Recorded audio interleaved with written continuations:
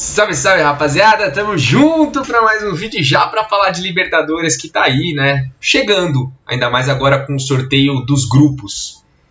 E você viu que tem torcedor aí do Once Caldas brasileiro, né? Vulgo time da Marginal, que tá puto, hein, mano? Que tá puto porque estão falando que o nosso grupo é fácil, que a Comembol favorece a gente. Tem a dó, bicho, tem a dó. É, os caras saíram de, de Libertadores, de pré-Libertadores, né, duas vezes para Tolima, para Guarani do Paraguai e querem vir falar da facilidade do nosso grupo. Vocês não têm moral, o Secaldas brasileiro, desculpa. E digo mais, hein?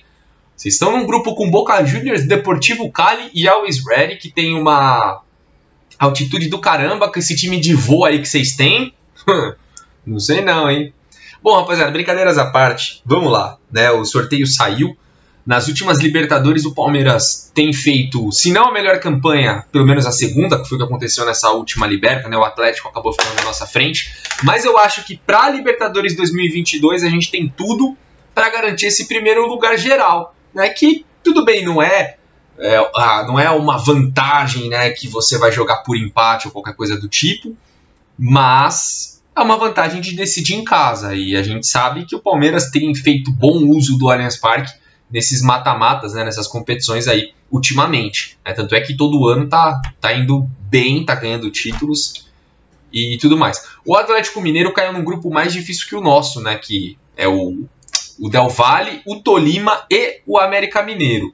E um outro, um outro time, né, outros dois times aí que, que podem ser rivais nosso em busca dessa primeira campanha na fase de grupos. O River Plate caiu com Colo-Colo, Alianza Lima e Fortaleza também não é um grupo tão fácil assim, enquanto o Flamengo caiu com Universidade Católica, Sporting Cristal e Talheres. É, também não são times que hoje dão tanto trabalho assim, mas pô, Universidade Católica já é um time de maior tradição, o próprio Talheres né, embaçou alguns jogos aí contra equipes brasileiras. E o do Palmeiras eu acho que acaba sendo mais tranquilinho, né? A gente caiu com Emelec, Deportivo Tátira, Independente, Petroleiro.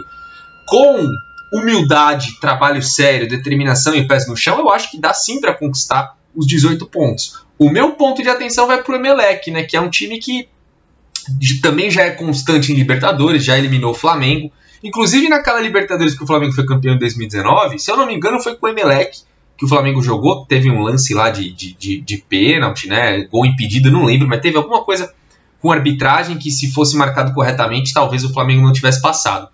Então, é, dá para a gente chegar nesses 18 pontos, eu acho que dá, eu acredito que dá, acredito que o Palmeiras tem condições de fazer, mas o meu ponto de atenção é o Emelec. Deportivo Tátira, cara, é um time da Venezuela, é um time fraco, e o Independente Petroleiro também, um time da Bolívia, né? Não, teoricamente, não tem que causar tantas dificuldades assim, né? A gente sabe que na prática a teoria é outra, mas eu acho que olhando para os candidatos, né, olhando para os melhores times aí da Libertadores, o grupo do Palmeiras é é o grupo mais tranquilinho, né? É o grupo que, que você é, pode apostar mais que, que, que o Palmeiras pode fazer 18 pontos.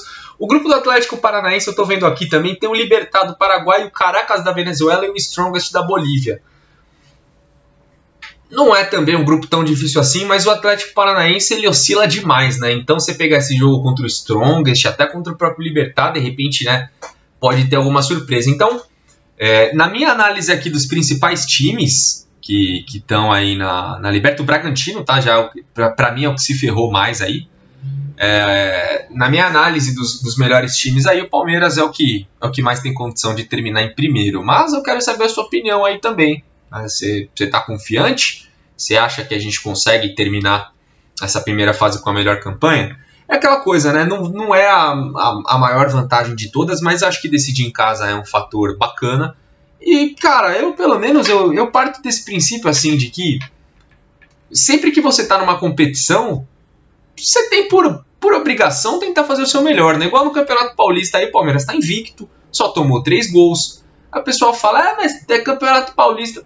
Sim, é Campeonato Paulista, mas é o que o Palmeiras está disputando agora. E dentro dessa competição é o melhor time. Né? Então, eu acho que é por aí. Se a gente tem possibilidades de ser o melhor, por que não ser? Né? Então é isso, quero saber a sua opinião. A gente vai falar bastante sobre Libertadores nos próximos dias e principalmente Campeonato Paulista. Amanhã o Palmeiras enfrenta o Red Bull Braga Boys no Allianz Parque, né, valendo semifinal aí do campeonato, é, jogo válido pela semifinal do Campeonato Paulista. Quem ganhar tá na final e notícia boa, quer dizer boa, né? Notícia boa a nível de jogo, né? Não pro jogador, não pra torcida nem nada disso. É, o Arthur vai ficar fora, né? Ele teve uma lesão aí, vai ficar de 6 a 8 meses fora, ou seja, é um desfalque muito importante para o Bragantino e muito bom para o Palmeiras, porque o Arthur joga muita bola e quando joga contra a gente é um jogador muito perigoso. Inclusive, o Red Bull é perigoso, né? Vai ser jogo tenso. Mas é isso, depois a gente volta para comentar tudo o que aconteceu. Um abraço, valeu, bom fim de semana e é nóis!